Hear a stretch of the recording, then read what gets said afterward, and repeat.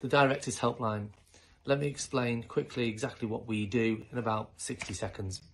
So I set up the Directors Helpline about seven years ago with the specific aim of helping business owners who are in financial difficulty and are facing closure, with the specific focus being on how it's going to affect them personally and what all other options are available. Since then, we've grown. We speak to about five to 600 directors every month. And whilst some unfortunately do go down a closure or restructuring route, 90% of them continue to trade on. Just need a bit of advice and a bit of a helping hand in their company. And that's why we don't just focus on insolvency.